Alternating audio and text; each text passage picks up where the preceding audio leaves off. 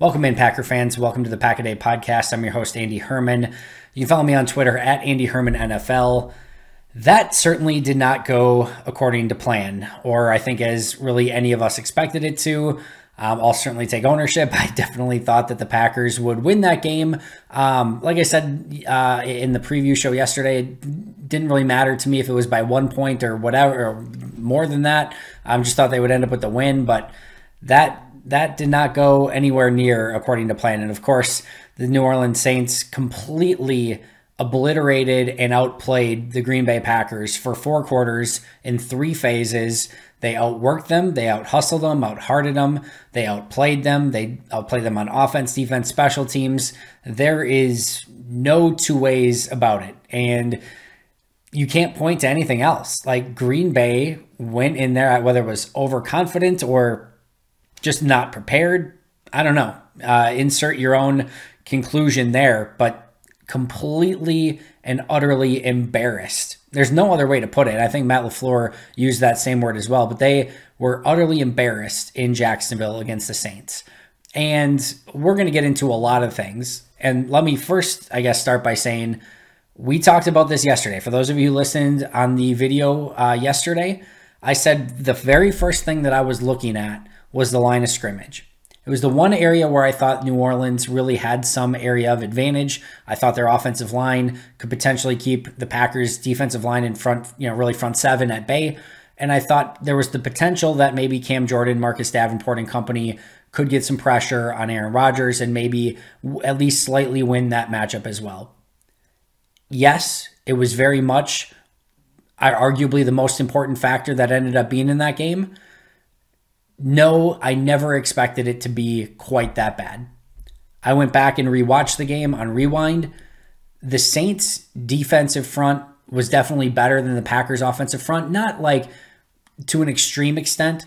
There were definitely a couple plays. The Rodgers interception where he threw behind Adams. Uh, Royce Newman got completely obliterated on that play, uh, just completely beat clean uh, by, by, I believe it was Cam Jordan. So that was a, big play. They couldn't really get anything going running the ball. I didn't think they were terrible, the Packers offensive line, but if you watch it, their their front was consistently encroaching upon the Packer. Like they were pushing the Packers offensive line back and back into Aaron Rodgers and again gave no running lanes when the very few and far but you know far between times where the Packers actually tried to run the football.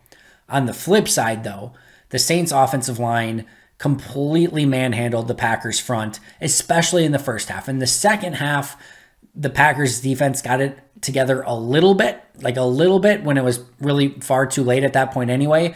But you go back and especially in that second quarter, but in the first half as a whole, the Saints offensive line, there were Packers on the ground, hands on their hips. Like they they were just completely knocked backwards off the line of scrimmage. You talk about wanting to reset the line of scrimmage. The Saints were consistently and constantly resetting the line of scrimmage. And there was everything that went wrong in this game, right? So, like, the offense played bad. There were multiple turnovers. They couldn't convert on third downs. The Saints consistently converted on third downs. But as I mentioned yesterday, more often than not, games boil down to the trenches. And it's not always fun, it's not always sexy, it's not always the most exciting.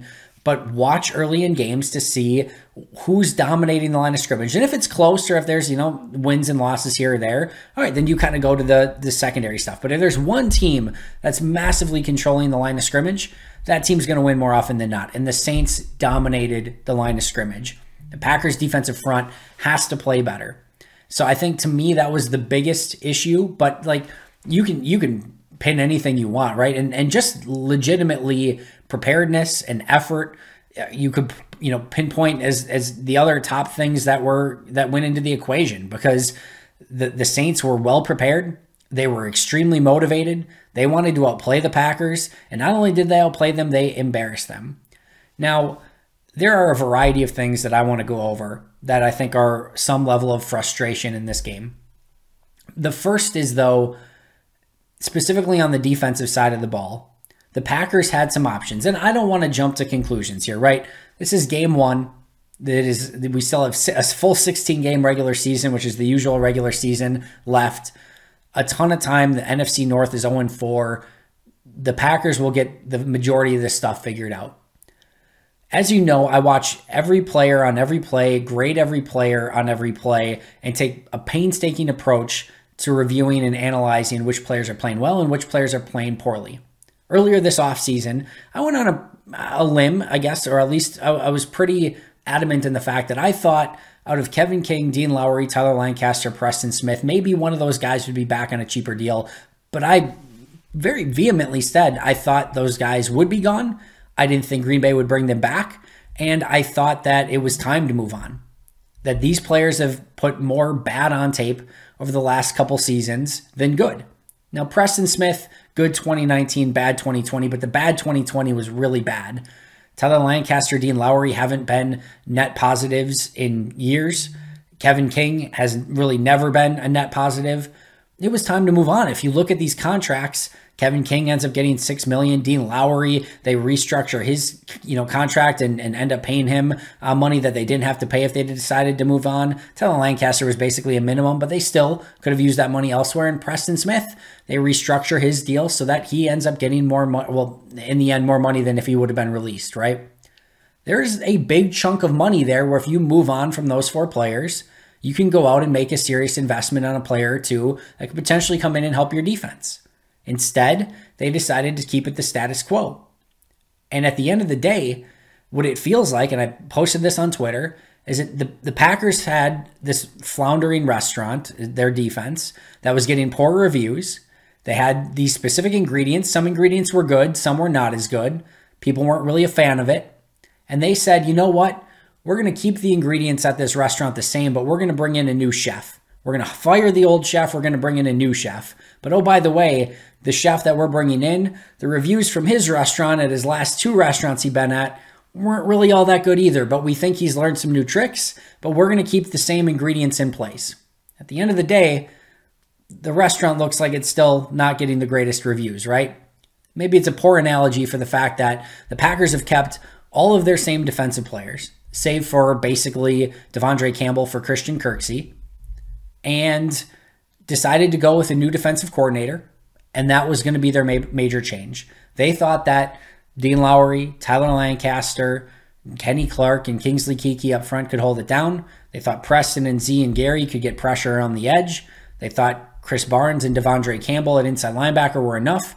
They thought the same three corners, Kevin King, Chandon Sullivan, Jaire Alexander, were good at corner, and then Savage and Amos with Henry Black being the, the next safety up. They thought that that was a enough ingredients for success week one in the books, that certainly does not seem to be the case. And those same players. Now, Preston, I actually thought at first glance had a good game. I went back and rewatched. He, he played well early, seemed to maybe wear down as the game get, went on. I'll look at it more when I watch the All 22. But Kevin King beat deep again, very similar to the Scotty Miller play against Tampa a season ago. I got turned around early in the game on a first down completion. Dean Lowry and Tyler Lancaster consistently displaced uh, along the line of scrimmage, and certainly were not coming close to making plays at or behind the line of scrimmage. Same issues that presented itself at times over the last few seasons presented themselves on defense again. And I think that is a major cause for concern and something that the Packers are going to have to figure out. Offensively, I have a major issue with how this offense and specifically Matt LaFleur has called the offense when they've been behind. And I basically relate it to being on tilt at a poker table. And for those of you who aren't familiar, basically it's you lose a big hand at a poker table and now the very next hand, regardless of whether you've been dealt good cards or not, you get in that next hand because you want to win the money back that you just lost. And you push a bunch of chips in to try to win. And somebody else has got a better hand because you're just playing a crappy hand because you want to win your money back. And then you lose that one. And then the next one comes around and now you're all in with an even crappier hand because you want to win the last two hands that you had uh, just lost back. And then you end up back at the ATM machine and you are quickly spiraling out of control it's it's called being on tilt and that's very much how I feel this Packers offense operates when they get down even by a score but specifically by multiple scores. All of the run fakes, the play actions, the jet sweeps, the just running the football, all of it goes out the window and you're now lining up five wides and trying to just throw at the opposing team, letting them tee off on a young offensive line and so on and so forth and it's been a recipe for disaster. And this is it's worth saying now. Like Matt LaFleur's been fantastic, right? Through through, through two plus seasons. I, I don't I'm not I'm not, you know, dragging Matt LaFleur. I think he's been fantastic, truly. But it is odd now. There are five games, you know, in two plus seasons, what, 18, 36, 37. So five out of 37 games that the Packers have just completely no showed for. Five games in 37. Basically, one out of every seven games. Know, maybe I'm not doing that math right, but it, that feels about right. Um, because what 14 and 4 is 18, 14 and 4 is 18, so 36, 37 games he's coached in, right? And there's been five games. So 5 times 7, 35. All right, I'm doing my math right. I don't know my abacus. It's way too late here. But basically, one out of that is is been a complete no-show. They had the game against the 49ers in 2019 in the regular season, the game against the Chargers in 2019 in the regular season, the game against the 49ers in the NFC Championship game nonetheless, then they had the game against Tampa Bay in the regular season last year. And now they had this game against the Saints in week one this year. That is five times where the Packers have simply not showed up to the game. And one of those is an NFC championship where they just got boat raced by the time the first half was over. And that is a bit concerning. And part of this, frankly, is because this team is much better when they play from ahead and get into a rhythm early. If I were Matt LaFleur, I would not be kicking off to start the game when I win the coin toss anymore. Bar none, period, end of story. This is a this is a team that's predicated on the success of its offense. This is not a good defense. The defense more often than not allows yards and points to begin the game. Now the offense feels pressure to go back and get those points back, maybe not always playing within that initial rhythm. And then if they don't get the score and all of a sudden we saw it exactly in this game the the Saints go down, score three points to begin with, drive down, score three points. Packers end up almost already on tilt. They went for it on fourth down, deep in their own territory. They already are almost just like we got to go get points. We like we can't let them have the ball back and score again. We got to go get points. They go for it on fourth down. Eventually, then they get a. Uh, it was basically a three and out after they converted that initial fourth down.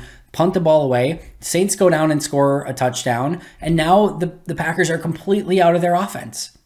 That's got to be something that gets fixed. And to start the second half, I thought they did a little bit better job of maybe getting back in a rhythm before the Rodgers interception, but some major issues there. And Matt LaFleur needs to do a better job, and this offense needs to do a better job of figuring out how to play from behind. We saw it the Chiefs Browns. Chiefs were behind double digits. They got some big plays. They got back in it. They never abandoned who they were. They kept being themselves, and they eventually came back and won that game against the, the Browns. You know, they had the, the Packers really struggled in this game offensively on third downs, which was a huge indicator. They had the three turnovers. Roger had a Rodgers had a 36.8 passer rating, including two interceptions, no touchdowns, only 133 yards. Nothing went right on offense.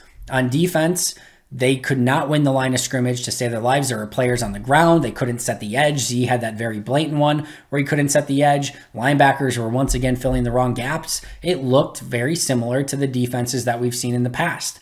And it is time, and I said this just a few days ago as I was previewing this upcoming season. The Packers have got to find an identity for who they are on defense because right now they are doing nothing well. They are not getting turnovers. They are not getting pressure. And I'm obviously going back to last season. We'll see what this season brings, but not getting pressure, not getting turnovers. They're not, you know, bending but not breaking. They're bending and breaking. They're giving up long drives, long possessions, keeping Rodgers off the field. it's putting more pressure on the offense. There's not only is there no complementary football, it's uncomplimentary football. The Packers offense isn't helping the defense. The defense isn't helping the offense. The special team certainly isn't going to save the day. So they just become this mess of three individual groups that aren't playing together cohesively as a team. And that's what we saw. And I think what's frustrating here is that while this is week one, all of the things that we've seen in bits and pieces and really come playoff time in, in those championship games that Green Bay has struggled with over, over the last couple seasons, those are the issues that we saw manifest itself today. The no showing for games, which we've seen in the past, the inability to convert uh, on third downs at times, we saw the defense just, you know, kind of giving up chunk yardage and big plays and just not being able to have any semblance uh, of stopping the opposing. Like all of those things we saw kind of come to fruition in one game and build itself up to a complete blowout where the Saints won this game absolutely easy. So they need to find some sort of identity. And, you know, to go along with that, listen, if Kevin King can't cover some of those routes, if, if he like I thought I think it was Zach Kruse on Twitter that pointed out like Kevin King was like a four three guy coming out. He looks like a four six four seven guy right now. If he doesn't have that speed, like then it's time to go to Eric Stokes. It's as simple as that. Like Kevin King is not enough of a technician as a corner to just go out there and and like be slower slower than the opposing receivers and he's like he's never been one that's going to just cut on a dime he doesn't have the agility and you're like Matt LaFleur on multiple occasions this offseason said, hey, when when Kevin King is up there pressing and being aggressive, we really think that he can be one of the best corners. He's playing off coverage all the time. So yeah, you can say that, hey, we really like this guy as a press man corner. You're not playing press man coverage on defense. That's not your defense. So if if he can't do that, if he's not the technician that you need in that sort of position, if he can't play your style of defense, and you have a young corner who maybe is also not a technician at this point, but at least is a 4 3 40 guy who can maybe stick with the receivers that are trying to run past him, then to me, that's an upgrade and it's probably time to make a change.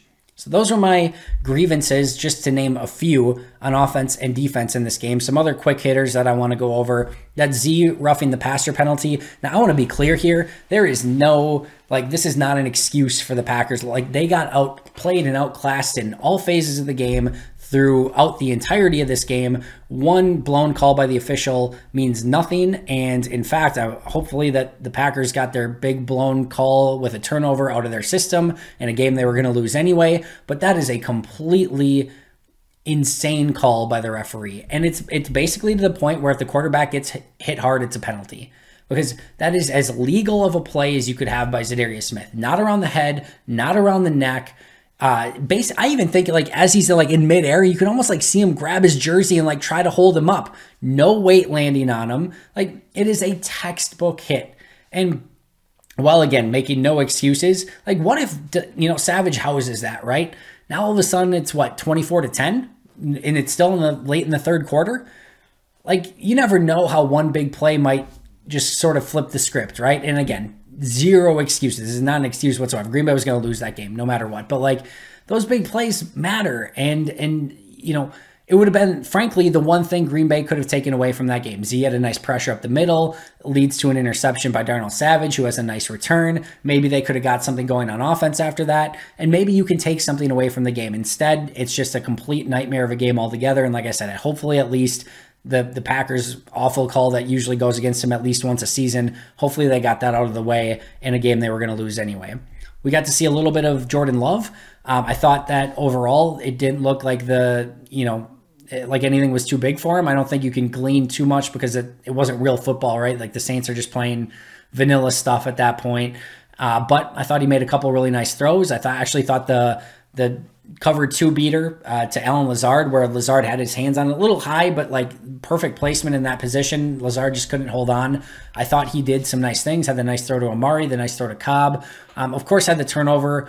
Um, I think that's a really great opportunity to learn from that situation. And uh, again, I, he's pressured. He's just trying to make a play whatever. I, I, think in that situation, there's a bit more accident forgiveness, but a great situation for Jordan Love to learn from. So I guess maybe a, a, very small positive in the fact of what Love was able to do when he got in the game. And again, that just didn't look too big for him and uh, was able to move the ball a little bit. So I think that's overall a positive.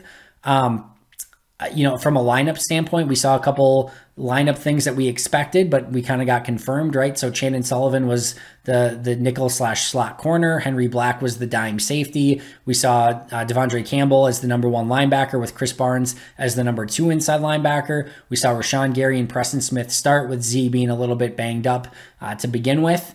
Um, on the offensive side of the ball, we had Royce Newman start at right guard. Of course, uh, Meyer start at center. Lucas Patrick start at left guard. All of these things were expected, but we, you know, they weren't 100% confirmed going in. Um, and those were the things that were confirmed. And then, of course, Kevin King over Eric Stokes at corner as well, which we will see how long that continues moving forward. A couple other quick notes. I thought this was a fairly uncharacteristic game from Matt LaFleur. Um, just even from a play calling standpoint, there was no rhythm uh, at really at any point. But two real weird things. So uh, late in the first half, uh, right before the the Saints scored their what second touchdown to go up 17 to nothing, they were stopped on third down, and there was about a minute 50 left. And instead of calling their last time out there, they let the clock run down to about a minute and 10 seconds, or a minute 17, I think it was. And then, you know, Packers get the ball, the, the Saints go for a fourth down, score a touchdown. Packers get the ball with a minute 10 left and one timeout, but they, they lost out on about 40 seconds by not calling a timeout uh, with with the Saints having the ball because no matter what, right? If you might be like, well, they wanted to see what the Saints were doing, but no matter what, it, it didn't matter. The Saints kick a field goal and you get the ball back. The Saints score a touchdown, you get the ball back. The Saints go four and out, you get the ball back. Like no matter what happens, you get the ball back and you'd rather have time. There's no reason not to have the time in that situation. So I have no idea what happened there, but not calling a timeout was inexcusable. And quite frankly, it could have been the difference between three and seven points and maybe going down into halftime 17 to seven. Because I think that extra time they were they drove right down and Rodgers would have had a chance to go in and, and potentially score a touchdown before halftime. Maybe that's a momentum switcher. I doubt it. Like I said, Green Bay was outclassed in all facets, but just another odd play um, in the game for the Packers and specifically Matt LaFleur. And then that play action on fourth and two. Like it's fourth and inches, fourth and one. Like I get play action, but he goes play action power on fourth and two. And the defense isn't buying that. Nobody in the world was buying that for a second. Everyone in the world knew that they were going to put the ball in Aaron Rodgers' hands in that situation. So yeah, um, Marcedes Lewis slipped on the play. There's a guy waiting for him. There's a guy waiting for Davante Adams because nobody in the world thought that they were going to run the ball in that play. So very just some odd play calls, some odd decisions, and just very uncharacteristic of the Packers and what we've seen from Matt LaFleur um, up until this point. Uh, real quick, some injuries, of course. Darnell Savage uh, looked like he got hurt on the interception return, which, of course, even the good play ends up in something bad. Um, and then uh, he didn't play the very next play and then didn't return the remainder of the game. And then, of course, Josiah DeGuara had the concussion as well. So Matt LaFleur said he would have an update on Monday in regards to those two injuries. If you're looking for any silver linings in this game, of course, the NFC North goes 0 4. Matt LaFleur is 6 0 in his career after losses in the regular season, winning most of those by double digits. Uh, the Packers are double digit favorite, favorites going against the Detroit Lions in Green Bay this upcoming week. And uh, let's see, the Saints, oh, by the way, they won a game 38 to 3 last year as well. The game they won 38 to 3 week 9 against the Tampa Bay Buccaneers, who ultimately won the Super Bowl. So a 38 to 3 loss against the Saints, far from uh, a death blow to your Super Bowl chances. In fact, the last time the Saints beat somebody 38 to 3, they went on to win the Super Bowl. So some small silver linings there. And then I guess I'll just say, like, sometimes it's good to get punched in the mouth. I think Green Bay was overconfident coming into this game. Probably were feeling themselves a little bit, saying, hey, you know, we're automatically going to be a playoff contending team. We just have to show up and do our thing.